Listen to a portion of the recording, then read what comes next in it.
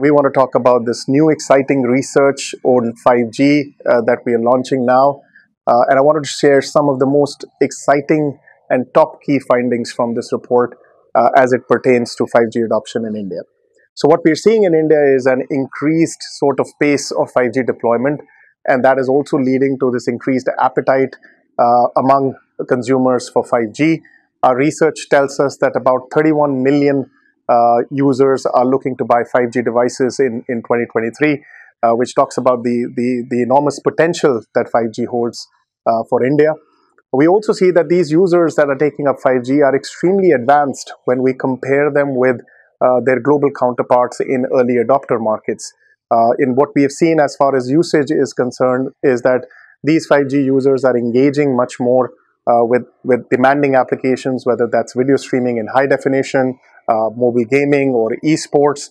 Uh, on an average, they are spending about 20 minutes per day, uh, which equates to about two hours more per week uh, in terms of engaging with these applications when you compare them with 5G users in some of the more early adopter markets like US, UK, Australia, uh, and so forth.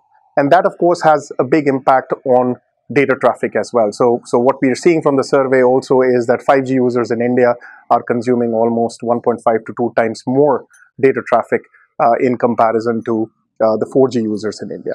Now, it's it's great that the usage is kind of kicking in, but it's even more important to understand what is the sort of experience 5G is actually delivering in India. And here we see that 5G users are extremely satisfied uh, with the 5G performance. 5G uh, versus 4G performance, if you were to compare it, we see that 5G is uplifting uh, this level of consumer satisfaction by 30 percentage points in comparison to 4G, uh, indicating that early adopters who are taking a 5G are finding it uh, to be a good experience. Uh, and we have to see now how, you know, with the deployment pace, how things really go forward, uh, you know, whether we're able to further elevate uh, the 5G experience in, in the coming years. Now, there are a lot of questions raised about the monetization, uh, how this monetization potential is going to be unlocked as far as India is concerned.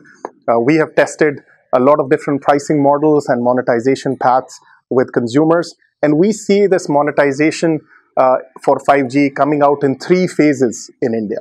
So the first phase is a lot about uh, what we are seeing right now is that increased data usage among consumers would lead to uh, you know some of the plans getting exhausted and consumers kind of using up their uh, data allowances and of course upgrading to higher tiers of plans uh, and we see that about 40% of consumers believe that if they were to get more data on their 5G plans uh, then they feel that uh, paying a premium for 5G is going to be justified. But having said that, the second phase on the monetization side is where new pricing models and tiers are going to come in. Uh, here we are talking about content and application bundles uh, on the premium tier of 5G plans or even using speed tiering as one of the way uh, in order to go ahead and unlock the monetization potential. Uh, so that's the second step. And the last step is where we can think about what we call differentiated quality of service.